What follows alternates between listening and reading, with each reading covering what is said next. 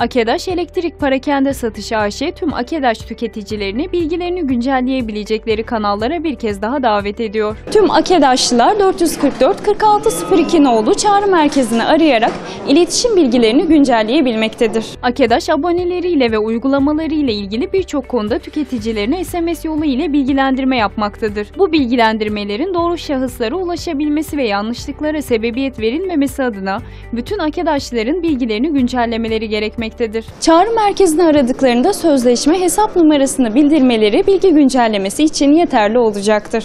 Akedaş Elektrik Parakende Satış AŞ Kahramanmaraş Bölge Müdürü Bahri Gemci, tüketicilerin bütün işlemlerini daha kolay, daha hızlı ve daha sorunsuz bir şekilde gerçekleştirebilmeleri ve elektrik aboneleri ile ilgili her türlü bilgilendirmeden haberdar olabilmeleri için yapılması gerekenleri Aksu Haber'e değerlendirdi.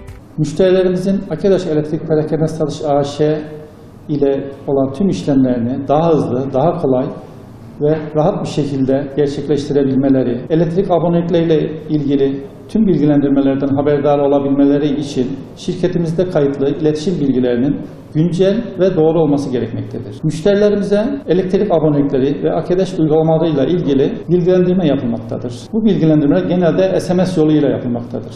Gemci, tüketicilerin sorun yaşamamaları için bilgilerini güncel tutmaları gerektiğini söyledi. Örnek verecek olursak birçok müşterimizin iki aboneliği olabilmektedir.